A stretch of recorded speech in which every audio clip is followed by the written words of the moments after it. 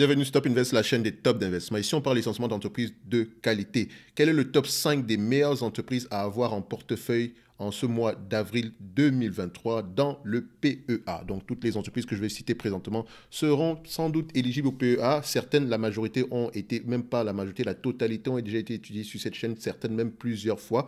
Donc ça veut dire quoi? Quand on dit ici entreprise intéressante à avoir un en, en portefeuille en ce mois d'avril 2023, ça ne veut pas dire que la liste des entreprises qui suivent ici, on doit absolument les acheter. Non.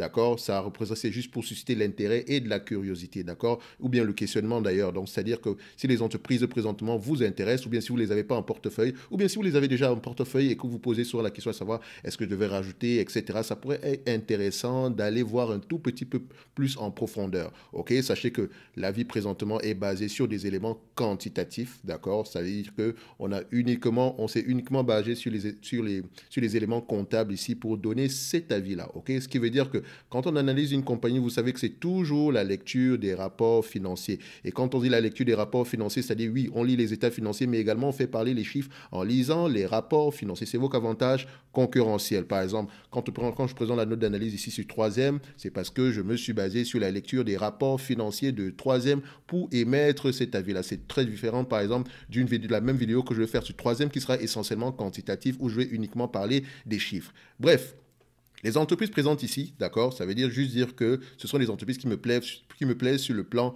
quantitatif. OK?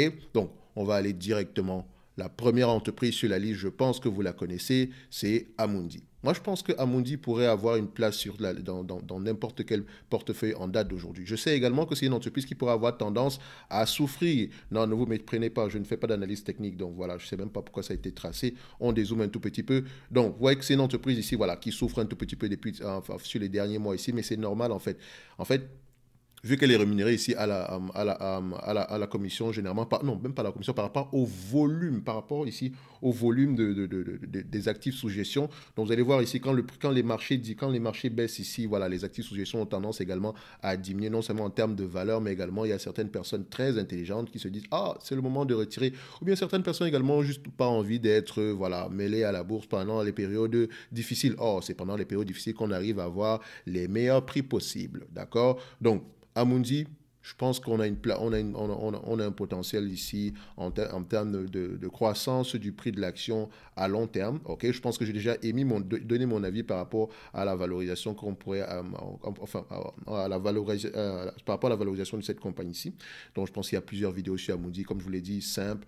Quand vous recherchez une vidéo ici, vous venez juste sur Top Invest, vous tapez par exemple, euh, on va mettre ici Amundi. Ok, Amundi, Top Invest, la même chose avec toutes les autres entreprises, et boum, on trouve plusieurs vidéos sur Amundi. Les, toutes les vidéos ne se ressemblent pas, ne se ressemblent pas, d'accord? Donc chacune ici a sa particularité. Donc sur ça, généralement, on commence par la dernière ici qui date d'il y a 4 mois, et puis d'ailleurs, il faudrait qu'on revienne dessus. Mais bon, on va pas faire une mise à jour ici de l'analyse chaque 4 mois, chaque 3 mois, d'accord? Mais Amundi, ça pourrait être intéressant en date d'aujourd'hui à avoir, en tout cas, en, enfin, en termes de potentiel investissement.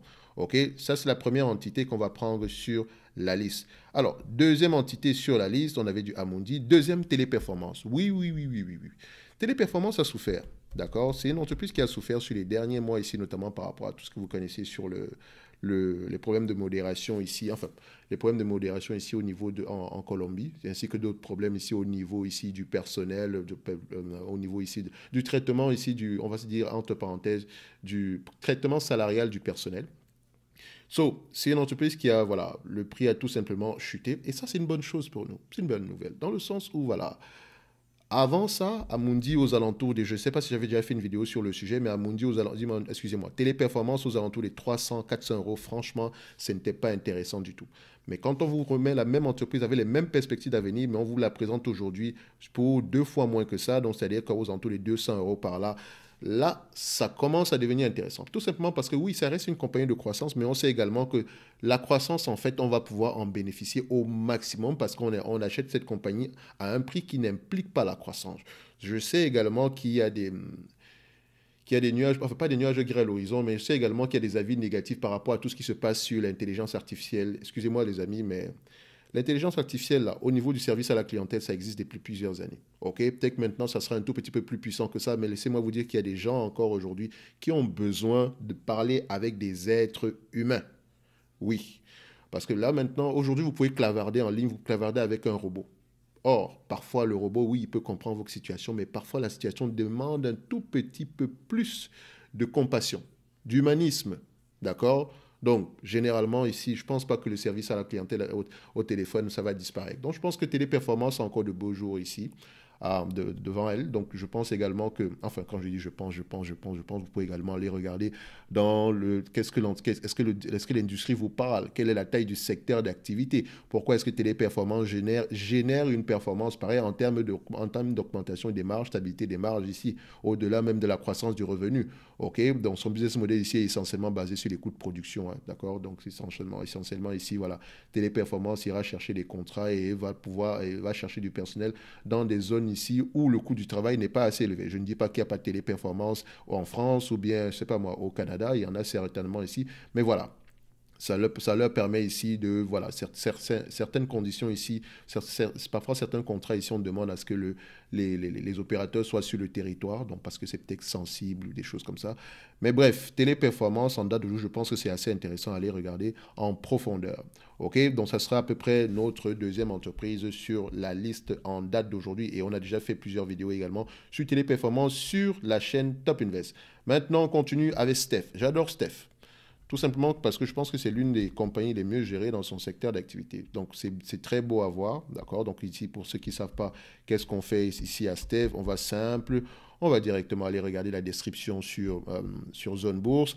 Donc, c'est un spécialiste dans les prestations de transport et de services logistiques sous température contrôlée, donc de moins 25 à plus 15 degrés. Donc, le chiffre d'affaires par activité se repartit comme suite transport et logistique en France, 56%, à destination des industriels, de la grande distribution et de la restauration hors foyer. Donc, hors vous allez également voir transport logistique à l'international. Bref, vous savez que c'est un secteur dans la logistique. Il me semble également que là où elle est située, enfin, par rapport à ce qu'elle fait précisément ici, d'accord, qui est à peu près, disons, le, la, logistique sous température contrôlée. C'est à peu près un marché qui est très stable et qui a un certain avenir devant elle ici, d'accord, sauf si vous pensez qu'on va plus consommer, on, a, on, on aura plus besoin, ou bien que ChatGPT également va, va, va nous déranger à ce niveau-là. Parce que maintenant, le bavardage, c'est tout autour de l'intelligence artificielle, comment est-ce que ça va changer les choses, etc. Mais voilà, vous savez que des business comme ça, voilà, c'est simple à comprendre, et il y a de fortes chances que d'ici 10 ans, que ce business-là soit encore là.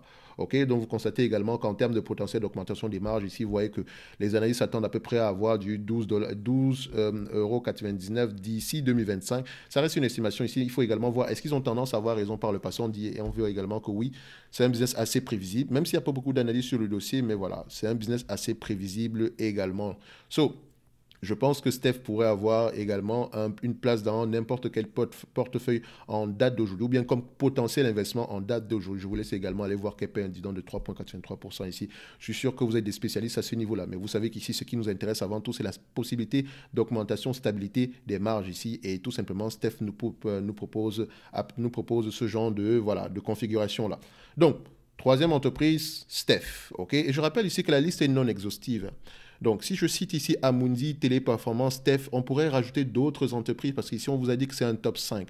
On pourrait rajouter absolument, on pourrait rajouter une dizaine d'autres entreprises qui pourraient faire partie de cette liste-ci. Si vous vous rappelez, sur la chaîne également Top Invest, j'ai fait une... Euh, série de vidéos ici concernant le, disons, le, le, le top PEA d'accord, où généralement on va au-delà de 10, on, on généralement une entreprise par secteur ou deux entreprises par secteur d'activité. Ici, on en a fait ici le top, celui de rêve ici, il ne prend pas en considération la valorisation, donc essentiellement basé sur voilà l'aspect qualitatif de la chose. Donc, quelles sont les entreprises qui, moi, pourraient m'intéresser, d'accord, qu'importe le prix. C'était ça la situation.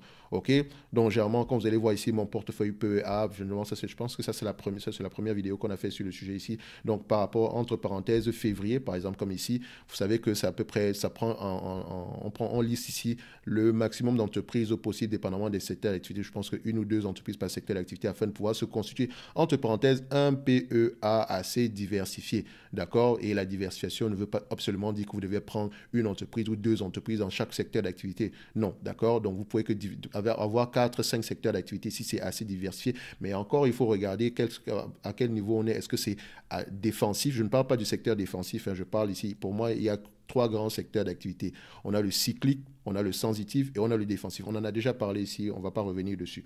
OK? Donc voilà, on a pour ceux qui veulent une, liste plus élevée, voilà, vous pouvez aller regarder ces vidéos. On en a fait pour le PEA PME ainsi que pour le PEA. D'accord? Donc ensuite, la prochaine entreprise sur la liste en date d'aujourd'hui, nous avons Capgemini. Alors, Capgemini également, je pense que c'est une entreprise qui pourrait être assez intéressante ici aujourd'hui. Oui, c'est pas comme si la décote est extraordinairement élevée, mais également on peut voir que c'est une petite entreprise, pas une petite, pas une petite entreprise, c'est une belle entité ici qui continue à faire croire que ses revenus année après année de, façon stable. Ok, donc on aime bien ça. Idéalement, on aurait, bien aimé être là, être présent en 2019 pour à peu près bénéficier de cette opportunité en, en 2020.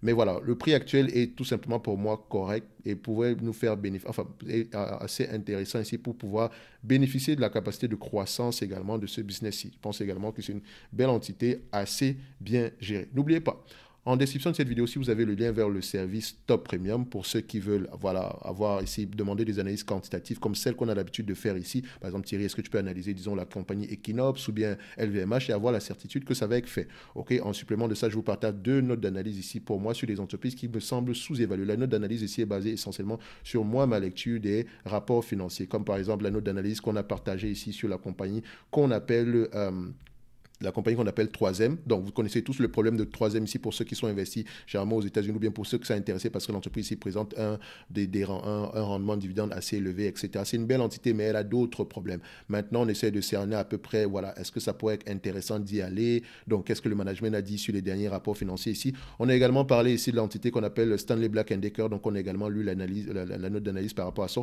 sans compter celle que j'avais partagée déjà sur Sanofi. Donc, pour ceux qui ne savent pas à peu près à quoi ressemble la note d'analyse. Et comme je l'avais mentionné ici durant le mois le mois de mars ici. Au courant du mois d'avril, il y aura deux formations qui seront disponibles, généralement en dernière semaine ici du mois d'avril, à savoir comment analyser une banque et comment lire les rapports financiers. Je ne parle pas des états financiers, je parle des rapports financiers. Quelles sont les questions à poser, etc. Comment analyser une banque ici? Voilà, vous savez que ce n'est pas, pas un secteur d'activité qu'on analyse de la même façon que comment on va analyser, par exemple, une compagnie comme Carrefour ou bien comme LVMH. C'est assez particulier. Bon, vu que c'est dans l'air du temps, voilà, on a préféré la faire ici, afin que prochainement, si vous avez à lire à peu près sur une, une, compagnie comme, euh, comment on appelle ça, comme euh, Crédit Agricole, vous savez à peu près qu'est-ce que vous allez poser comme question, où est-ce qu'il faut aller à peu près pour regarder. OK? Donc, quand je parle ici des entreprises sous-évaluées, ici deux, notes d'analyse ici sur les entreprises sous-évaluées, il faut également qu'on mentionne que celles que les entreprises que j'ai eu à mentionner précédemment, je continue à les suivre. OK? Donc, c'est-à-dire que je continue à, présenter également des notes d'analyse par rapport à ces compagnies-là. Donc, si on a parlé déjà de 10 entités, il y a de fortes chances que certains mois qu'on parle plutôt de deux ou quatre entreprises ici. Donc, deux nouvelles entreprises, deux anciennes entreprises ici, afin de pouvoir continuer à faire la mise à jour si le scénario de départ est toujours là. Donc, ce qui veut dire que si moi je continue à croire au business ici, je vous l'annoncerai toujours. D'accord? Donc, je ferai mes notes d'analyse et on va partager ça ici, on va en discuter. Donc le but ici n'est pas de vous rendre dépendant, mais plutôt indépendant. C'est-à-dire que si l'entreprise vous intéresse, vous allez lire les rapports financiers et vous poser les bonnes questions si questions il y a. OK? Donc pour le nombre de places restantes ici, vous pouvez bénéficier également de la formation thématique sans charge supplémentaire jusqu'à ce que le nombre de places, le, nombre de places ici, enfin jusqu'à épuisement du nombre de places, on va le dire comme ça. Donc on revient sur notre liste. Donc, vu qu'on était sur le, la, on était sur la, la quatrième entreprise qui était Capgemini, on va aller sur la cinquième entreprise qui est Stellantis. Est-ce qu'on a encore besoin de parler de Stellantis? Et en parlant de Stellantis, je dirais même que vous pouvez prendre Stellantis, Volkswagen, Mercedes-Benz, BMW, toutes ces entreprises-là sont sous-évaluées. Donc, dans une certaine mesure, entre parenthèses, Renault. Mais Renault, comme je l'avais dit ici, ça dépend de beaucoup d'autres éléments. Mais Renault également pourrait être sous-évalué sur le plan quantitatif. Mais maintenant, s'il fallait choisir entre Renault et Stellantis, il y a de fortes chances que je choisisse Stellantis. Et s'il fallait choisir entre euh, Renault, Stellantis, euh, euh, Mercedes-Benz, BMW et par exemple euh, Volkswagen. Je ne parle même pas de Porsche ici parce que quand je parle de Volkswagen, Porsche également est un, tout petit peu inclus. Donc, s'il fallait choisir deux entités ici, je prendrais par exemple, voilà, Stellantis est extrêmement sous-évalué et je, mon cœur va balancer entre Mercedes-Benz et BMW. De toutes les façons, toutes les compagnies automobiles sont sous-évaluées en date d'aujourd'hui. Mais attention, faites attention parce que les bénéfices nets obtenus la période précédente ici étaient exceptionnels. Il y a de fortes chances que ça ne dure pas. Mais même si on revient à peu près à une certaine moyenne, c'est toujours sous-évalué. OK? Ça reste également la consommation cyclique et les taux d'intérêt peuvent avoir un impact sur ce business-là. Bref, Stellantis pourrait faire partie de cette liste-là. Mais maintenant, si on avait une mention spéciale pour la cinquième, on a fait le, top 5 ici, vous n'avez pas oublié, c'est sûr. Mais voilà, s'il fallait rajouter d'autres entités, comme d'habitude, il y a peut-être un petit bonus ici. Comme je l'ai dit ici, c'est top 5, mais ça ne veut pas dire que c'est uniquement ces 5 entreprises-là. D'accord Vous pouvez prendre ici Publicis, vous pouvez également rajouter Sanofi, Vinci, Saint-Gobain, Michelin, pour ne citer que celles-là. D'accord Donc, Amundi, Téléperformance, TEF, Capgemini, Stellantis, Publicis, Sanofi, Vinci, Saint-Gobain et Michelin pourraient être des entreprises intéressantes à aller regarder présentement en date d'aujourd'hui. Si on recherche un potentiel ici, voilà, une potentielle nouvelle opportunité ici. Les nouvelles opportunités, ça ne veut pas absolument dire qu'on doit prendre de nouvelles entités. Non, on peut déjà se baser sur cette liste-ci. Il y a de fortes chances qu'il y ait une qui vous plaise parmi toutes les entreprises que j'ai citées tantôt. Donc n'oubliez pas, avant d'investir dans une compagnie, on lit les rapports financiers. On ne se base pas uniquement sur les états financiers pour investir. Parce que si on se base uniquement sur les états financiers pour investir, il y a des informations qu'on va peut-être manquer. Par exemple, vous ne, vous ne saurez peut-être pas que la situation est, euh, actuelle de l'entreprise. Par exemple, prenons un exemple ici d'une entreprise. Euh, vous vous souvenez des entreprises ici qui vendaient à peu près des, granulés de bois tantôt D'accord? Ces entreprises-là avaient, avaient le vent en poupe dernièrement. Et je, quand, vous lisez les rapports financiers, vous savez pertinemment que c'était une situation qui n'était pas durable ou bien qui ne sera pas durable. C'est un peu avec les entités comme Novacite, ce genre de choses-là. Ce pas des business, les, les, les revenus attirés ne sont pas durables. C'est comme avec ESSO, ce n'est pas durable du tout. OK? Donc, lisez les rapports financiers, les amis. Donc, n'oubliez pas, dans la description de cette vidéo, si vous avez le lien vers le service Top Premium et vous pourrez bénéficier de tout ce qui est inclus dessus pour le nombre de places restantes sur la liste. Donc ici, on va se donner rendez-vous sur le prochain mois pour le prochain top 5, on, reviendra également avec un top 5 PEA PME, un top 5 Europe, un top 5 dividendes, ainsi que que ce soit en Europe, que ce soit aux États-Unis. On peut faire des top 5 à l'appel ici, mais bon, voilà, je ne fais pas souvent saturer la chaîne avec 5, 5, 5. Parfois, certaines personnes ne comprennent juste pas que ça dépend. Voilà, il faut souvent apporter des nuances dépendamment du top 5 ici. OK, on peut faire un top 5 ici pour les entreprises dans l'intelligence artificielle, par exemple. Vous voyez ce que je veux dire? Donc, voilà, faites attention déjà, lisez bien quand vous voyez top 5, essayez de regarder à peu près de quoi on parle. Donc, façon, je l'annonce toujours en début de vidéo. Sinon, un like, un abonnement, ça fait toujours plaisir. Et toutes les entreprises qu'on a citées ici, on les a déjà étudiées de manière quantitative individuellement sur cette chaîne-ci. Donc, vous savez à peu près ce qu'il vous reste à faire. Et on se donne rendez-vous sur la prochaine vidéo. Merci.